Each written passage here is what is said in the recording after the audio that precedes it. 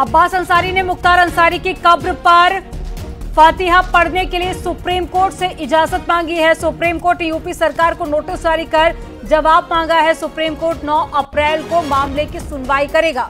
अब्बास अंसारी ने मुख्तार अंसारी के कब्र पर 10 अप्रैल को फातिहा पढ़ने की इजाज़त मांगी है।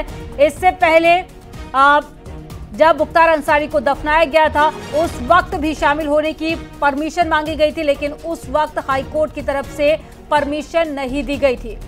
अब अब्बास अंसारी ने सुप्रीम कोर्ट से इजाज़त मांगी है। एक बड़ी खबर आपको बता रहे हैं, अब्बास अंसारी ने मुख्तार अंसारी की कब्र पर फातिहा पढ़ने के लिए सुप्रीम कोर्ट से इजाज़त मांगी है। और सुप्रीम कोर्ट ने यूपी सरकार को नोटिस जारी करके इसका जवाब भी मांगा है। सुप्रीम कोर्ट 9 अप्रैल को मामले की सुनवाई भी करेगा। तो अब्बास अंसारी ने मुख्तार अंसारी के कब्र पर 10 अप्रैल को फातिहा पढ़ने की इजाज़त मांगी है।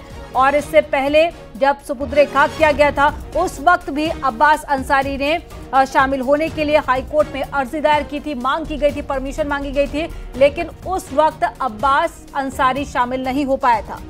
अब एक अर्जी सुप्रीम कोर्ट में दायर की गई है और परमिशन मांगी गई है। ज़्यादा जानकारी के साथ में सुशील पांडे जुड़ गए हैं संवाददाता। सुशील, पहले हाई कोर्ट से परमिशन मांगी गई थी, अब सुप्रीम कोर्ट से परमिशन मांगी गई है। फातिहा पढ़ने की बताइए, क्या ज़्यादा जानकारी आपके पास?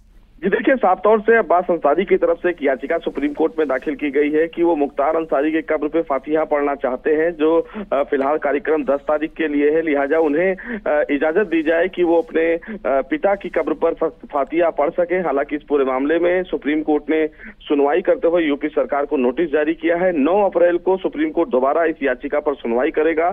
नौ अप्रैल की सुनवाई बेहद अहम होगी, क्योंकि नौ अप्रैल को सुप्रीम कोर्ट ये तय करेगा कि अब्बास अंसारी को मुख्तार अंसारी की कब्र पर फातिया पढ़ने की इजाज़त दी जाए या ना दी जाए, देखना यह भी होगा कि यूपी सरकार की तरफ़ से जो जवाब आता है, उस जवाब में यूपी सरकार क्या कहती है कि अब्बास अंसारी को उनकी कब्र पर फातिया पढ़ने की इजाज़त दी जा सकती है या फिर नहीं?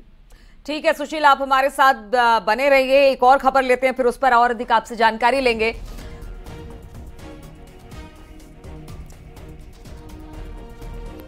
तो खबर हम आपको बता दें, उत्तर प्रदेश मदरसा एक्ट को रद्द करने के हाईकोर्ट के फैसले को लेकर आज सुप्रीम कोर्ट में सुनवाई हो रही है। Chief justice D Y Chandrachud, justice J B Pardiwala और जस्टिस मनोज मिश्रा के बेंच इस सुनवाई को कर रही है। इलाहाबाद हाईकोर्ट के लखनऊ बेंच द्वारा उत्तर प्रदेश बोर्ड ऑफ़ मदरसा एजुकेशन एक्ट 2004 को असंवैधानिक करार दिए जाने को सुप्रीम कोर्ट में चुनौती दी गई है। मदरसा बोर्ड की तरफ़ से सिंघवी ने कहा है कि हाईकोर्ट का अधिकार नहीं बनता कि वो इस एक्ट को रद्द करे।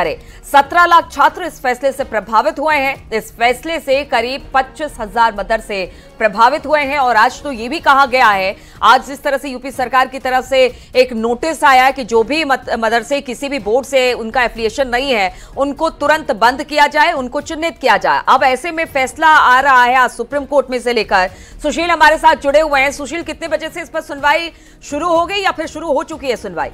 देखिए इस मामले पे सुनवाई अभी सुप्रीम कोर्ट में चल रही है जिसमें मदरसे की तरफ़ से फ़िलहाल अभिषेक मनु सिंघवी दलील दे रहे हैं। उनकी तरफ़ से सीधे तौर पर यह कहा गया है कि यूपी सरकार के आदेश के मुताबिक ही तमाम मदरसों में जो पढ़ाने वाले सब्जेक्ट हैं चाहे वो हिंदी हो मैथ हो इंग्लिश हो वो तमाम फ़िलहाल चीज़ें पढ़ाई जाती है। लेकिन जिस तरह का फैसला हाईकोर्ट ने लिया उस फैसले से लगभग पच्चीस हज़ार मदरसे इफ़ेक्ट हो रहे हैं और ऐसे में हाईकोर्ट के आदेश पर तत्काल रोक लगाई जाए। लेकिन चीफ जस्टिस इस पूरे मामले में तमाम तथ्यों को देख रहे हैं, तमाम फ़िलहाल फ़ाइल देख रहे हैं। हालाँकि ये भी कहा गया है अभिषेक मनु सिंघवी के द्वारा कि यूपी सरकार के द्वारा ही इस पूरे मामले में इजाज़त दी गई थी और अचानक इस प्रकार का फैसला लेना कहीं ना कहीं जो फ़िलहाल संवैधानिक अधिकार है उसका वायलेशन करता है। लिहाजा इस प्रकार के आदेश पर तत्काल रोक लगाई जाए क्योंकि वहाँ पर पढ़ाई ना होने की बात नहीं कही जा सकती और जिस तरह यूपी सरकार का रवैया मदरसे को लेकर रहा है, उस पूरी प्रक्रिया पर कहीं ना कहीं रोक लगाई जाए। लेकिन चूँकि मामला अब संवैधानिक कोर्ट के समक्ष है तो देखना बेहद अहम होगा कि इस पूरे मामले में